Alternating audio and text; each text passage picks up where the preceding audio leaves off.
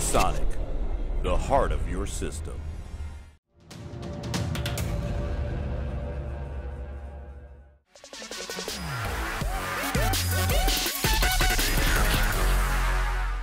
I'm Leo Waldock for Kit Guru, fresh back from the Alphacool Halloween party in Germany. Could you guess? This is my occasional opinion piece, Leo says. So, uh, thanks to Andreas and Nathanael, the two bosses of Alphacool and Aquatuning, they are sister companies, I was able to talk to a bunch of people I don't normally talk to. Uh, for example, modders. I don't have much in common with modders because it seems to me that people that build uh, systems for shows and people that review cases have a certain amount in common. They want to put glitzy bits into cases and make them look pretty. Obviously, the people doing system builds for shows, Computex, and such like packs, they're, they're, they're going to another level. Modders, on the other hand, to my mind, they want to find problems. They like to rip cases apart. They get busy with the Dremel, the hacksaw, the belt sander, and all the rest. They build distribution plates. Uh, what they start with and what they end with, two totally different things. It's like the custom car brigade, you know, taking out the suspension and such. Like they're not interested in working with the bits that are there. They throw them away and they start from scratch pretty much there are many times actually wonder why modders don't just you know build a case from scratch because what they end up with has no relation to the starting product. In particular, a chap called uh, Jo Puwalski, I hope I've pronounced the name correctly, uh, who goes by the questionable uh, name of BJPC. Uh, he's a, a, moderator on uh, Facebook for um, uh, Alphacool, and he had a number of systems on show at the Alphacool party, in particular the Cosmopolitan and Ice Machine, or Ice Machina is got near at the end. The Cosmopolitan is, I, have seen him do pictures of this before, it's uh, essentially just a remarkable thing, uh, but when you see the photos he took during the stages of building the system, you get more of an appreciation of what he's done as he 3D printed endless little figures and essentially built a city inside a PC case. Uh, it, it's just uh, remarkable the amount of work. It strikes me it's got an awful lot in common with the sort of people who build model railways. Is that type of thing. Uh, not my cup of tea, uh, but I appreciate fine work when I see it. And it took him about 300 hours of graft. And I look at uh, the Cosmopolitan and I think, well, there you go. Once you built it, you're not going to pull it apart. It would break your heart. So that case, uh, that system, I guess, is going to do the rounds of shows for some few years to come. And then we had Ice Machine or Ice Machina, which uses concrete. And I looked at it and I, I was just baffled. And he said that that system took him about 600 hours because he had to develop the concrete mix he was going to use. In addition to molds and such like the actual particular type of concrete and the what went into it, he went through endless mix, well, a number of mixes and various failures to arrive at a result. And the result is, is quite mind-boggling. But again, when you see the photos of the stages he went through, it, it's all the more intriguing. And here's where I kind of had my revelation because I was having a chat with somebody else there um, and said, uh, why?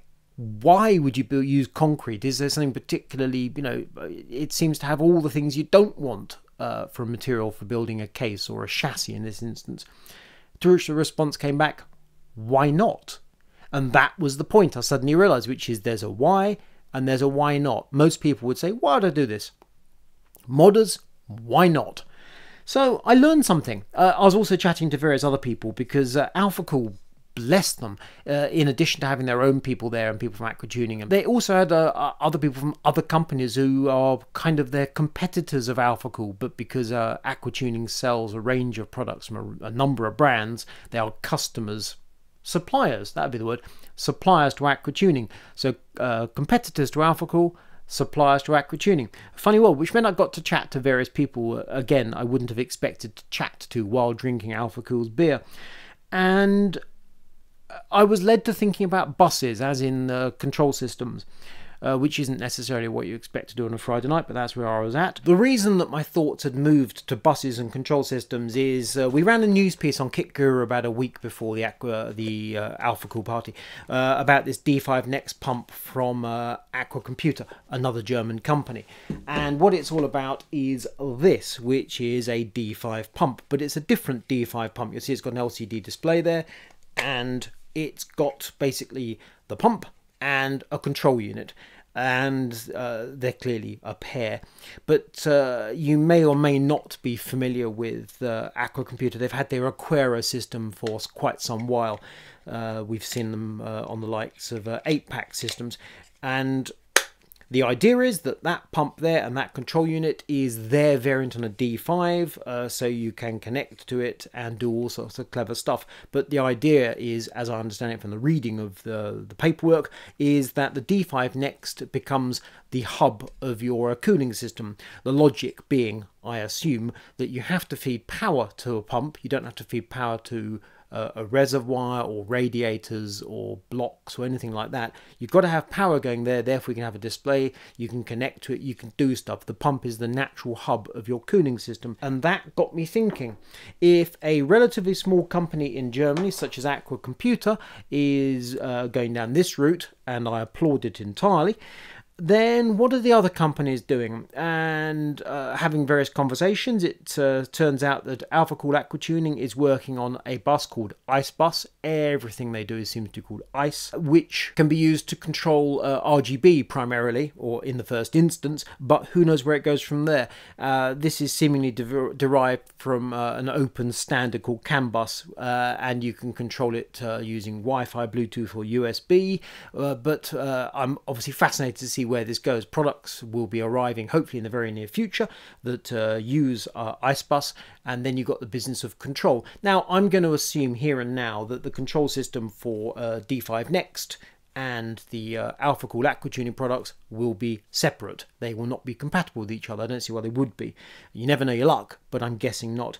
Um, and then we have uh, Watercool, watercool.de, another German company. They also are working on a control bus. I don't know the name of that, but again, I'm trusting it's going to be a similar kind of principle.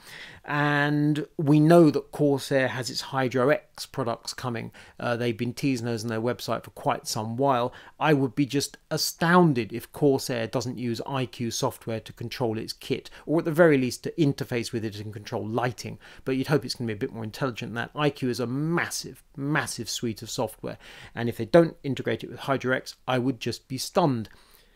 And then I got to thinking, EKWB, where do they come into all this? EKWB, uh, uh, Computex was showing off wooden products, albeit uh, cosmetic uh, bits and pieces, but uh, no sign whatsoever of anything to do with uh, control. So I'm guessing that EK must have something in the works. If not, they are presumably going to step down the pecking order of companies at the cutting edge of liquid cooling. Uh, but this would seem to be the way it's going, uh, which is uh, intriguing to me and very, very interesting. Uh, and I'm going to have to do some more talking to people, but I want to see these products because this seems like it's a real push forward in the world of cooling uh, for PCs, and I totally applaud it. And then we have some financial stuff. So Intel's just had its Q3 financials.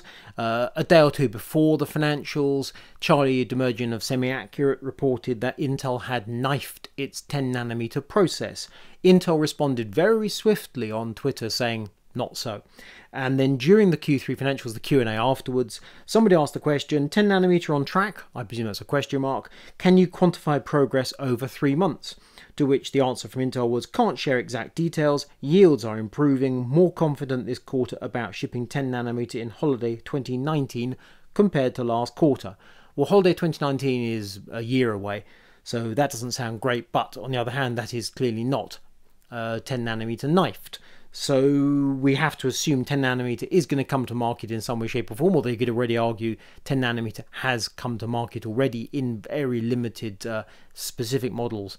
Uh, I think it was Lenovo brought it out.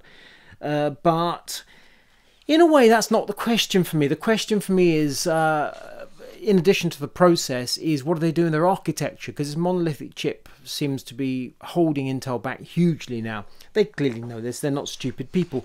So that wasn't really very revealing. But the thing was that Intel in those Q3 financials was reporting colossal numbers. Record this, record that, records $19.2 billion revenue with $7.3 billion income. Earnings per share was predicted to be $1.15 uh, and turned out to be $1.40 and so on and so forth. Every single section of the Intel empire appeared to be going absolutely great guns, which is clearly how they always like to report things. If there were holes in the figures, goodness knows. I mean, the programmable solutions group uh, seems to be quite flat, basically half a billion, half a billion. But in the great scheme of things, uh, they are just going storming along, absolutely storming along. So Intel, a company that in my mind's eye has no roadmap for the next couple of years. It uh, it's short of uh, supply across the piece. They can't make chips fast enough. They can't move from 14 nanometer to 10 nanometer, and yet they cannot ship processors in every single sec, uh, every single area of its portfolio. Can't ship them fast enough really don't know what to say about this. Uh, on the one hand, they look like they're a dead duck. On the other hand, they're making money like it's going out of fashion. It is remarkable. AMD, by contrast, released its Q3 2018 financials and it slightly missed its uh, expected figures. Uh, revenue $1.65 billion for the quarter, operating income $150 million. Now, this is uh, numbers in the black rather than the red, which compared to where uh, AMD has been in the past is happy days and big news. Nonetheless, compared to those Intel figures, it's a drop in the ocean. So, very well done AMD, but you know they are limping along relatively speaking. But the the stunning thing was that those figures, that slight miss, was uh, it le- it led to their share price dropping nine percent. Now AMD's share price has gone gangbusters in the past, uh, well during this year, but to see their share price dive like that was a real surprise. Now, when they look at their financials, when you look at their financials, uh, they are more or less flat which is unexpected because it feels as though AMD is just just on the rampage, but the, the facts are the facts. And it would seem that a part of this is that AMD graphics are just nowhere. Now, we think the mining boom has finished, it's over and done with.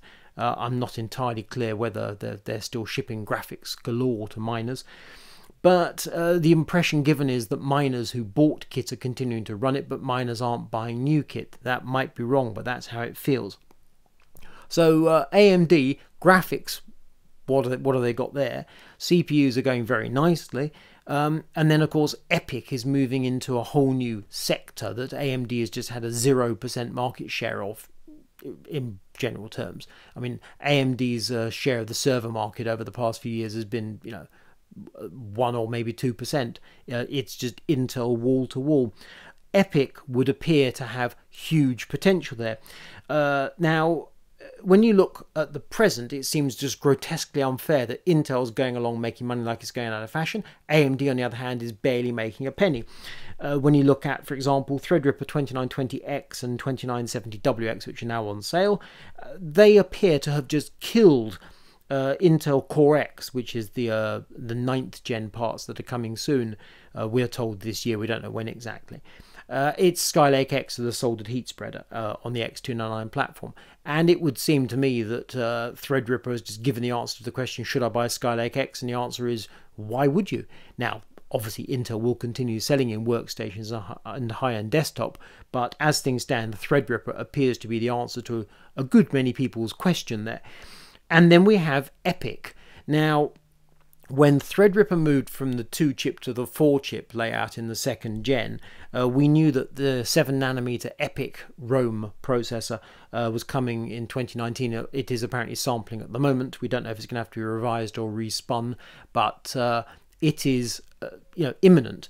And uh, my understanding from uh, various rumors floating around now, which appear to be solid, is that Rome is going to be a nine chip layout, 8 plus 1 uh, eight chips on 7 nanometer and then a central chip uh, which is the IOX which will be probably 16 nanometer. Uh, this should all be TSMC and the figures for this are just just huge. I mean, we've, we've heard a certain amount of what Rome can do.